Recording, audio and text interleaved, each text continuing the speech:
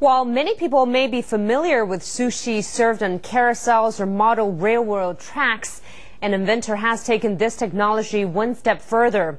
Also, another locally made machine dramatically reduces the time needed to thaw food. The sushi moves, though it is not traveling along a track. It seems to be floating in air. Is it magic? In fact, if you take a closer look, there's a sort of train track hidden in the table, and the plates have magnets hidden underneath. We use the principle of magnetism to separate the track and the dishes. It can run very smoothly with upper and lower magnets attracting each other, based upon this theory of magnetic attraction.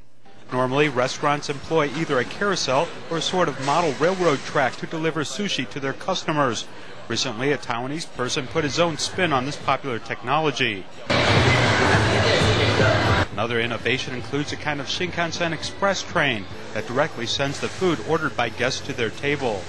Also, this made in Taiwan machine drastically cuts the amount of time to thaw ingredients. To test this invention, a box of frozen shrimp was placed in the machine.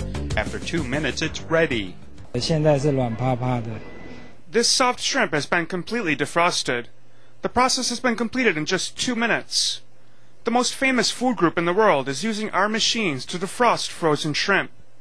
And the amount of water used can be reduced from 525 liters to 180 liters. This machine has already received a patent.